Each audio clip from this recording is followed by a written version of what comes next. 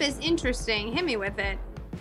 I go. I went with Emmanuel Sanders, another sort of slim build guy. But there was always talk that Mm-hmm. Sanders was actually below 180 pounds at one point. But um, you know, he's but a little but shorter. plays tough. Plays tough. but plays tough. Yeah. That's that's my point. He's got the speed to take the top off. Not now, but I mean that is in his prime. You know, the the version we saw, you know, four, five, six years ago, obviously was a big playmaker as well.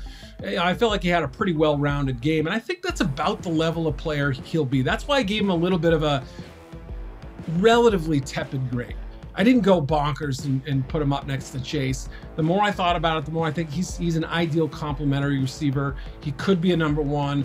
You know, Emmanuel Sanders has had some really good years in this league, but um, I just couldn't quite get on board with giving him a little little higher grade. But you you yours style wise makes you know perfect sense. I mean, maybe I'm being biased because of the Crimson Tide connection, but I, I- went with Calvin Ridley, you know, Yep. but this was also a player that uh, I, I think stylistically they're same. You know, he's obviously a little bit thicker Yeah. than um, than Smith is, but someone who, when they came out, was thought to be this is they're they're a slot player. This is what they Right. do. You're gonna need to have a Julio Jones outside presence to get the most out of them. You know, pulling away this tougher coverage that you're talking about, and we saw certainly last year with Julio Jones in and out of the lineup dealing with the soft tissue issues that Calvin Ridley can be a wide receiver one.